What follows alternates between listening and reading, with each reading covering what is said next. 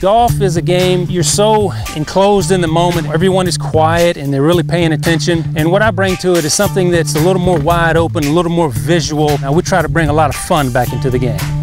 Hey guys, I'm Chuck the Hitman, a golf trick shot artist, golf entertainer.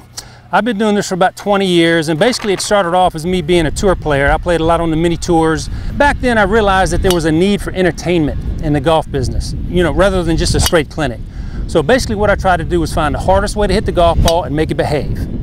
When I first started doing this, I hit about 2,000 balls a day. Uh, just to kind of get it honed into where it needed to be. And anymore, I really don't practice that much. I do so many outings, I just kind of bounce from one to the next. Uh, we, we try to tailor it to the audience. Oh man, that was perfect.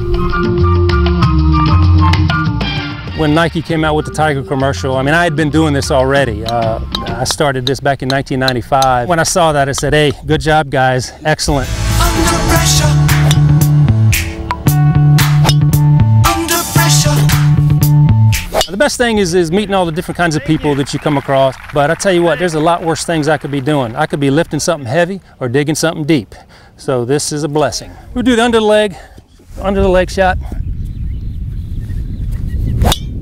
No, no trick clubs, just uh, pretty much standard off the rack. Uh, I, I, hit uh, double X on the shafts, hit 10 and a half loft. Yeah, this is perfect for the shows.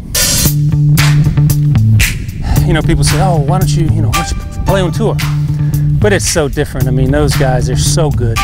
And uh, for me to try to do that, I mean, to chase two rabbits, both of them get away. So uh, I got a good niche with what I'm doing, so we'll just stick to this.